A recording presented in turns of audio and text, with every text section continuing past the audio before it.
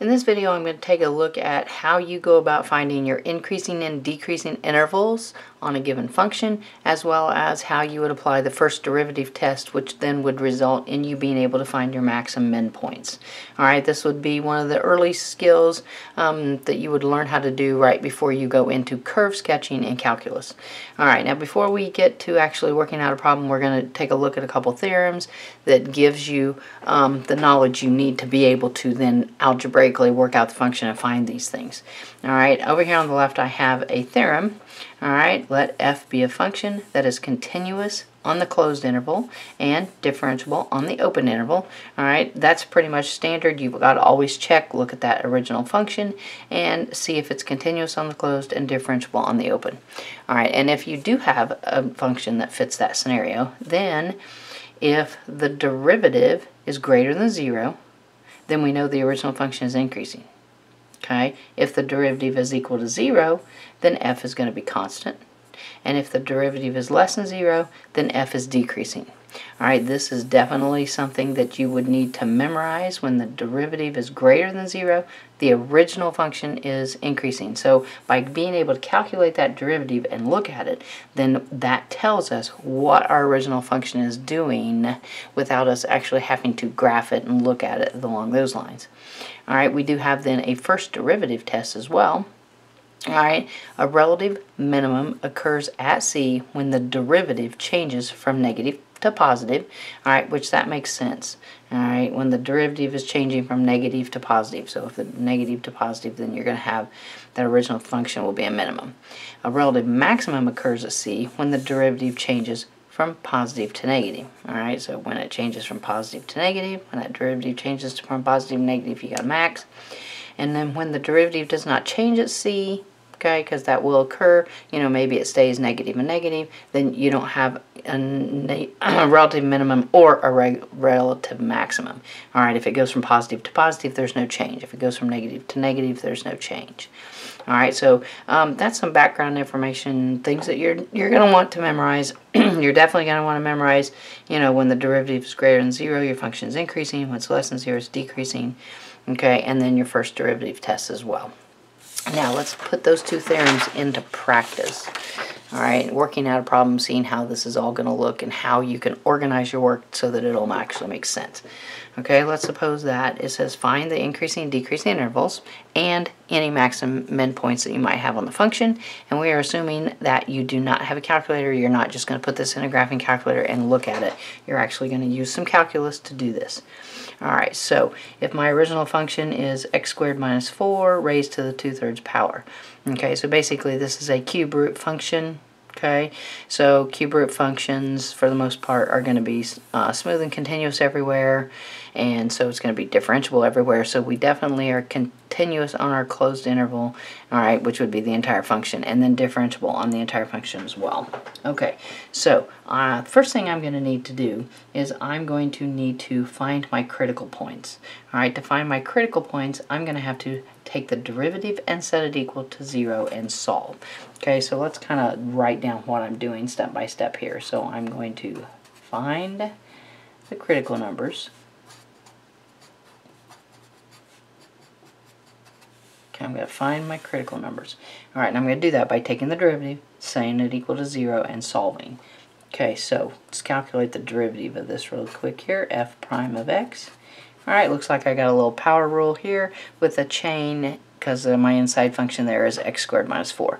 So doing power rule on the outside, I'm going to have a 2 thirds, leave the inside of the function alone, x squared minus 4, subtract 1 here, so 2 thirds minus 3 over 3 is going to give me a negative 1 third. Alright, times my chain, so times the derivative of that inside function, and that's just going to be a 2x. Alright, now let's go ahead and clean this derivative up a little bit because with that negative exponent, that's going to put that in the bottom. 2 times 2 is going to give me a 4x on top. So I'm going to have a 4x on top. I'm going to have 3 and then the cube root of an x squared minus 4. Okay, so that right there is my first derivative. Okay, so let's actually relabel that f prime of x.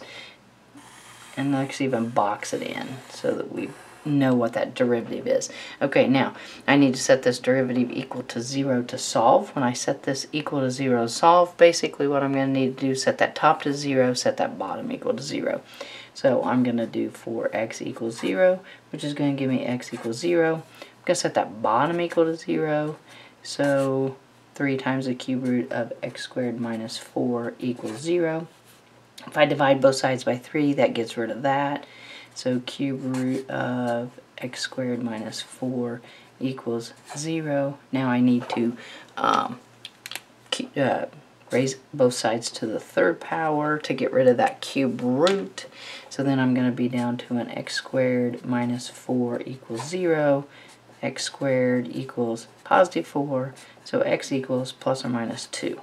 Alright, so my critical numbers, let's identify them here critical numbers are going to be x equals 0 and x equals plus or minus 2. Alright, they're all defined, they're all in the function. That function was continuous everywhere, so we're good. So now I have found those critical numbers.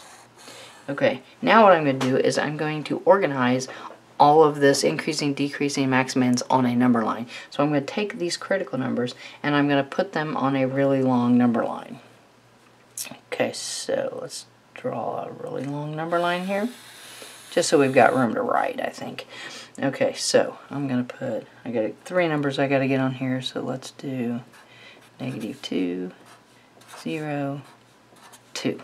Alright, now above there I'm going to write my intervals. So this is the interval from negative infinity all the way up to negative 2.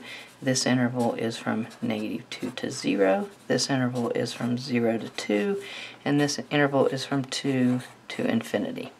Okay, now what I need to start doing, if I'm going to apply that first theorem, I need to take a look at what my derivative is doing in each one of these intervals. So then I'm going to label f prime of x so that I know what I'm looking at.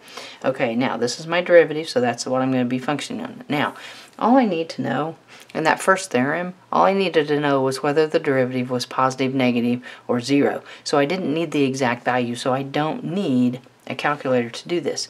In this interval, I'm going to pick some negative number. I know, I could do negative 3, I could do negative 4, I could do negative 5. It really doesn't make any difference, okay? So if I pick a negative 5, if I plug a negative 5 into that top, it's going to give me a negative in that uh, numerator.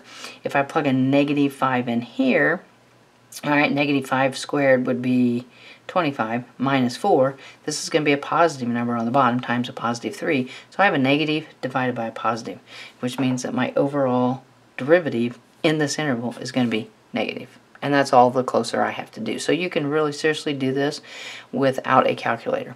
All right, now in this interval, I'm going to pick the number in the middle. I'm going to go with a negative 1. Okay, so if I plug a negative 1 in here, well, I still have um, negative in the top okay? Now, if I plug a negative 1 in here, negative 1 squared is going to be 1. 1 minus 4 is going to give me a negative 3. Cube root of a negative number, I can do that, but it's going to be negative, okay? So a negative divided by a negative makes this interval positive. All right, and then we can do that again. If I plug in a positive 1, this is positive. Oh, but the bottom is going to be negative, so positive divided by negative makes this interval negative. All right, and if I pick a really big positive number, the top's going to be positive. Really big positive number here will make the bottom positive, so um, positive divided by positive. So I'm going to be positive. All right, now, now I know exactly what my derivative is doing in each one of these intervals. Okay, so now from that first theorem, I can determine what my original function is doing. Okay, now let's go back and look at this. If the derivative is positive, it's increasing. If the derivative is negative, it's decreasing. The original function is decreasing.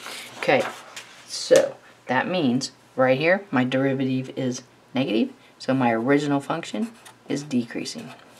My derivative is positive, so my original function is increasing. My derivative is negative, so my function is decreasing. And then my derivative is positive, so my original function is increasing. So without looking at a picture of that, without looking at that, I can know exactly that this original function, when being graphed, is decreasing between negative infinity and, and negative 2. It's increasing between negative 2 and 0. It's decreasing again between 0 and 2. and it's increasing again from 2 to infinity. So I can, it's describing what I am seeing. Okay, um, so now using the first derivative test, okay, when my derivative goes from negative to positive, okay, from negative to positive, all right, what do I have? I have a minimum, all right, because the function is decreasing and then increasing. That derivative is going from negative to positive. All right, so then that tells me right here, then I have to have a minimum. Okay, so I have a minimum at negative 2. All right, now I need to take negative 2 and plug it in. If I want the ordered pair, the actual ordered pair that that minimum is coming from, I need to plug it into the original function because this is talking about what the original function is doing. Negative 2 squared is going to be 4. 4 minus 4 is 0. So at negative 2, 0, I have a minimum. Okay, now if I keep coming along here, when my according to the first derivative test, when my first derivative goes from positive to negative, I have a max, all right, which makes sense because if my original function is increasing and then all of a sudden decreasing, I have to have a maximum point right there. So that means I have a max at 0, and then I need to plug this in here. All right, this would be 0 minus 4. All right, so that'd be uh, cube root of negative 4 squared. Negative 4 squared is 16. So cube root is 16 right there. Doing it in the head there. A little struggle. Okay, cube root is 16. Alright, now, first derivative test. When that first derivative, when the derivative goes from negative to positive, my original function is decreasing and then increasing, so then I have to have another minimum. So then I have another minimum at, all right, and then this one would be at 2, plug 2 back in. I'm still going to have the exact same thing here. 4 minus 4 is going to be 0, and then cube root of 0 squared is going to be 0. Alright, so now I've identified my maxes and mins. Okay, so let's uh, do a little bit summary. Um, you wouldn't want to leave just your increasing and decreasing intervals in this chart. Okay, I could let's go ahead and box in this because I did find each one of the max and min points. Alright, and it did come from the chart, but I was able to write them out separately. And then let's do our increasing decreasing intervals using interval notation. So it is increasing on the intervals from negative 2 to 0 and 2 to infinity. And it's decreasing on these two intervals, so negative infinity to negative 2 and 0 to 2. So you can summarize your increasing and decreasing on and like that. Alright, so um, nice little breakdown of how you go about using the theorem and the first derivative test to find your increasing decreasing intervals as well as your max and min points. Um, a chart like this is very, very handy. Just lets you keep everything straight. You just want to remember that this chart alone is not sufficient for the AP test. Okay, you can't just draw the chart and then leave it like that. You've got to do some type of summary to summarize what you found from that chart. Okay, obviously they're going to expect you to probably draw that chart, but you just want to make sure and pull the information out of the chart as well as you can. Okay, main thing, you Find your critical points. To find critical points, you take the derivative of that original function, set it equal to 0, and find those critical points. Those critical points then are what goes on that number line so that you know how, what intervals of that function you're looking at. Okay, um, definitely thanks for watching, and don't forget to subscribe to the channel. Thanks.